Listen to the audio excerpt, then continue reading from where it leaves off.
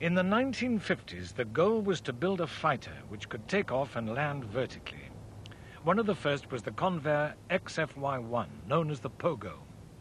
Nobody wanted to fly it. There were no volunteers. But the more I learned about the airplane, the more I thought it was a, a successful concept. It could be worked out. In um, retrospect, uh, I guess it was quite dangerous. But it was a developmental power plant. It was a developmental airplane, a developmental concept, and pretty hard to tie all those together without having a lot of risk. We're going to depart from the conventional procedure. Excuse me, I have to go.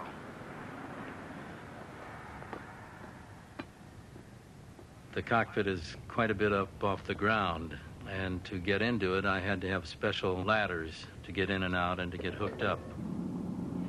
It had a single jet engine driving two propellers in opposite directions to stop the engine from turning the aircraft instead.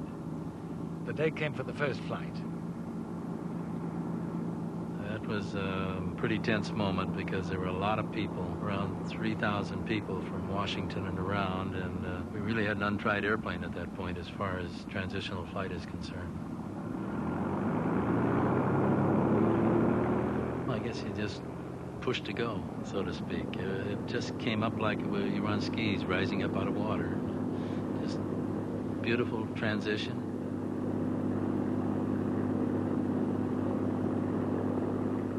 Everything went as planned. Skeets Coleman climbed to 4,000 feet.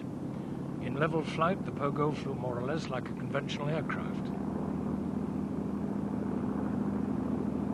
Of course, then the problem was getting back. That a lot of worry, mainly because the airplane was so fast, and I couldn't slow it down. I just left my chase plane behind, and we estimated that flight idle I was doing 300 knots.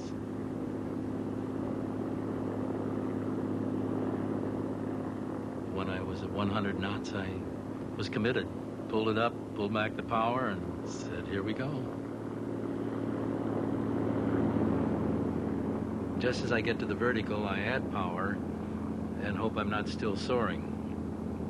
At that point, I have to look over my shoulder and quit looking at the flight instruments. From now on, I'm doing nothing but looking over my shoulder at the ground below.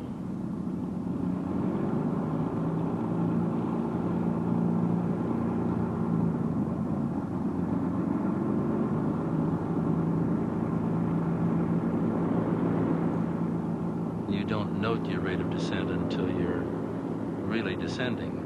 And the airplane was critical in vertical rate of descent. At about 20 feet per second, it would tumble. And when I get to the spot that I want to land on, I just hover there and then bring it down and bring the throttle fully back, which puts the prop in a beta position and gives you some negative lift and makes sure you stay solidly on the ground. The first flight over, Skeets had only one emotion. Relief. a lot of relief.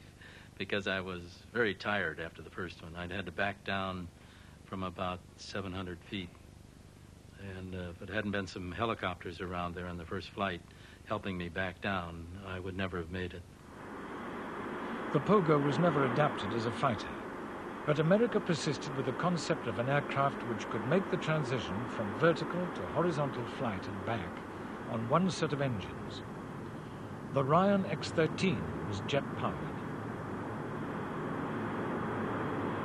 Once again, it required great skill and concentration on the part of the pilot, particularly on landing, which was made against a specially prepared tower.